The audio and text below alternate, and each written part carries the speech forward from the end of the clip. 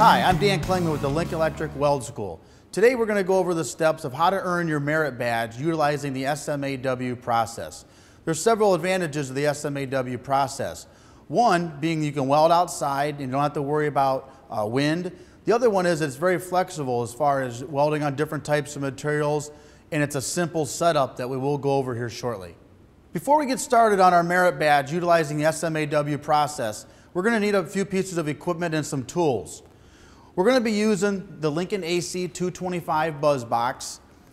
The machine is fairly simple. We've got our work in our electrode lead and we have our amperage range selector. Some of the other uh, equipment that we're going to need is we're going to need electrode. We're going to be utilizing an E6013 electrode. The E is classification as electrode, meaning that it's going to carry current. The 60 represents minimum tensile strength as 60 thousandths tensile strength. The 1 is an all position electrode. If it has a 2, it would be flat and horizontal only.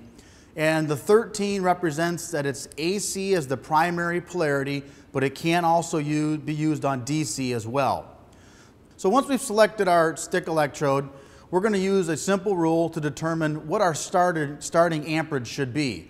This electrode is 1 eighth of an inch, so the rule of thumb is 1 amp per thousandths of electrode diameter. So 125 thousandths, our starting current will be 125 amps. Now that may vary up or down depending on the welder, but it's a good place to start and get you in a ballpark to, to make a good weld. Some of the other tools that we have, we've got a piece of soapstone to mark our initials on our pad. And when we're done welding, the plates are going to be hot, so we want to make sure we pick them up with a pair of pliers. The stick welding process does create a slag, so we're going to need a chipping hammer to remove the slag. And we've also got a wire brush to clean the weld after we remove the slag. Before we start welding, we want to make sure we have the proper safety gear. We want to have a flame resistant jacket. We've got our uh, beanie for any sparks, uh, clear safety glasses. We're also going to be utilizing the Viking auto darkening helmet. you can utilize the, or select the proper shade by referencing the E205. And we're also going to use a pair of stick welding leather gloves. And we also want to make sure we have the right ventilation. So we're going to use the MobiFlex fume extraction unit. The other piece of uh, safety equipment will be the MSDS sheet, the material safety data sheet. That can be found in the box of electrode, and you can reference any type of uh, materials and things like that in the electrodes. In the SMAW process, anytime your power source is turned on, you've got open circuit voltage available at the electrode, even if you're not welding. So be sure that you've always got dry gloves with no holes in them to avoid getting electrical shock. Now that we've ensured we've got the proper safety gear, it's going to be time to start welding. We're to check our machine, make sure we're on the proper current. We've also determined that we need roughly 125 amps. However, this machine we have a choice of 120 or 135, and I chose to go with a little bit higher current just to ensure proper uh, bead wetting. So we're going to turn the machine on, and the first project that we're going to do is we're going to uh, trace our initials with the E6013 electrode. So I'm going to write my initials on the plate. Okay. We're going to grab our stick electrode holder, our 6013 electrode, turn our fume extraction system on, and now we're going to start welding.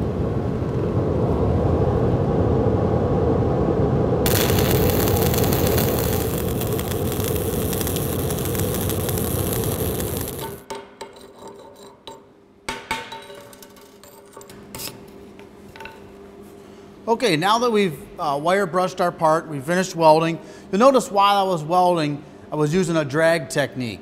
When we utilize the SMAW process, you want to make sure you drag. The rule is you, if there's slag, you drag. That'll help ensure to keep the slag behind us and not roll in front of the puddle and possibility of getting slag inclusions. So we want to make sure we always use a drag technique. The next one is going to be building a pad. This is going to uh, get us into the proper technique for striking the arc, maintaining a, a proper travel speed down the joint, as well as arc length. So as we get used to this and keep practicing, our welds will get straighter and they'll look uh, much more uniform. It's very important, we're gonna put the first bead down. It's very important that we clean the slag in between each pass. It's very important. So we've got our machine set to 120 amps. We've got our E6013 electrode and we're gonna turn our fume extraction on and start welding.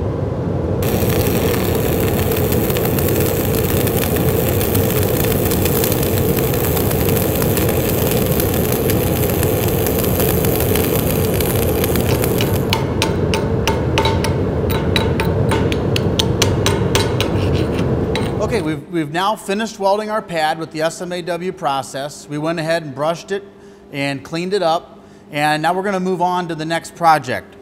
The next project is going to be a butt joint.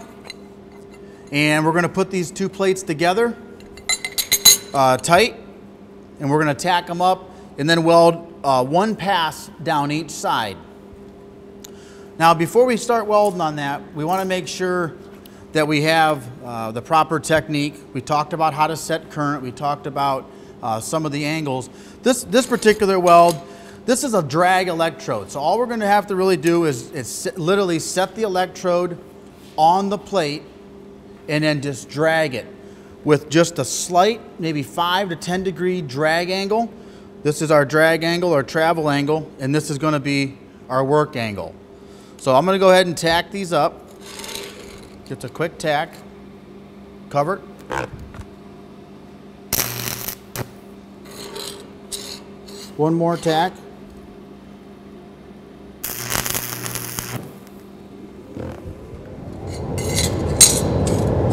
Now we're going to make a weld right down the middle.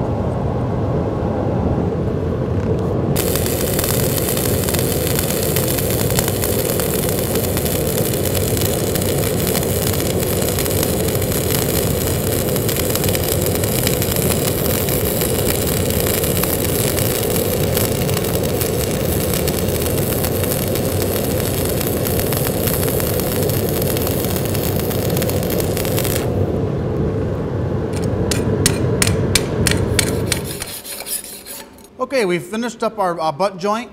We welded on both sides. Now we're gonna move on to our next project. Our next project is gonna be a T-joint. We're gonna take the two plates and it's going to resemble a T. Uh, we're gonna tack it up first and then go ahead and weld it. Uh, one of the things to remember is, you know, we're using an E6013 uh, fill freeze electrode here.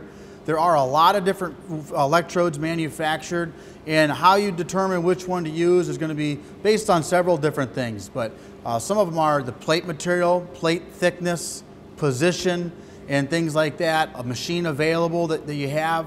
So we're just using one electrode here of many different electrodes for a lot of different applications. So we're going to turn on our fume extraction.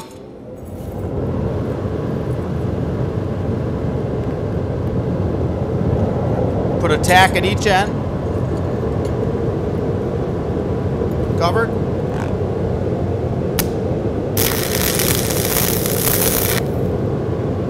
Covered.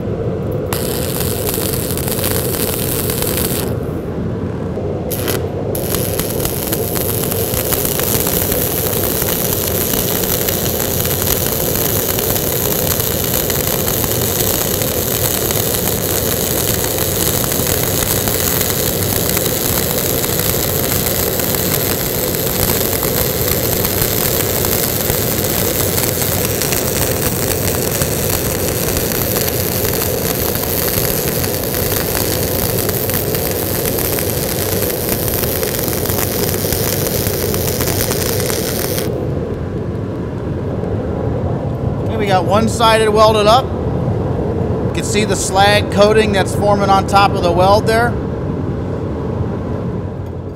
And the, the purpose of the slag is to help bring impurities uh, that's in the weld up to the top and uh, get them out of the weld.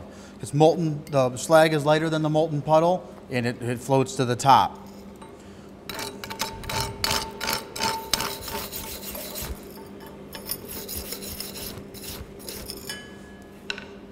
There's one side. We're gonna go ahead, weld up the other side and take a look at it.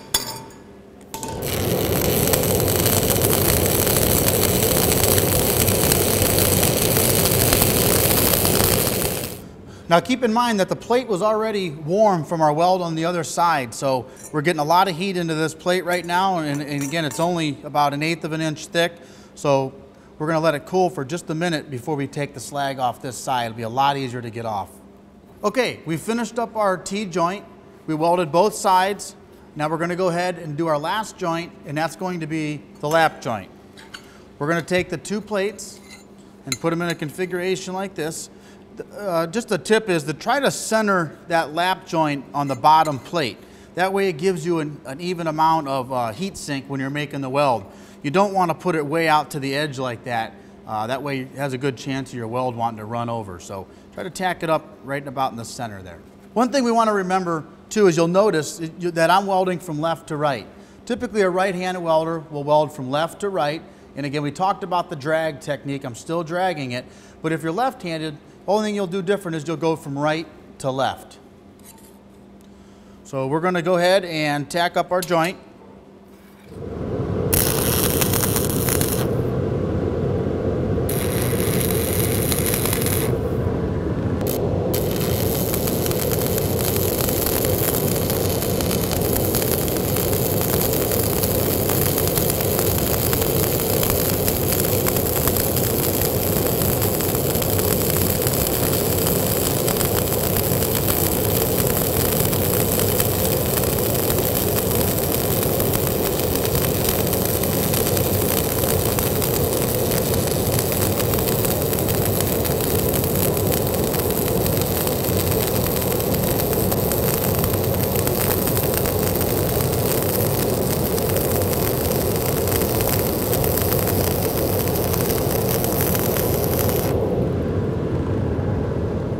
Just finished the lap joint on one side. You'll notice how the slag's starting to peel.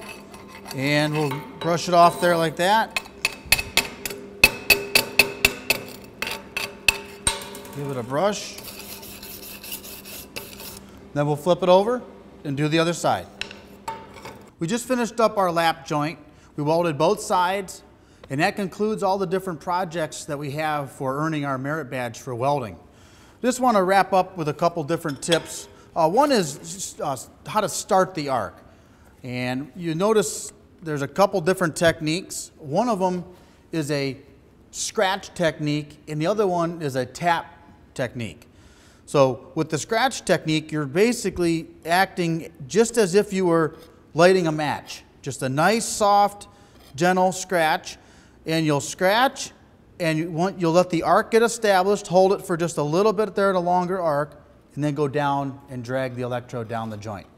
The other technique is the tap technique, and it, it's just like it says. You actually tap the electrode on the plate to get it started. Again, you tap, pull a little bit of a long arc, let the arc get established, and then go down and drag the electrode down the joint. So two different methods, see which one works best for you. And remember, there's a lot of different careers available in welding. Uh, welders are in a big demand right now.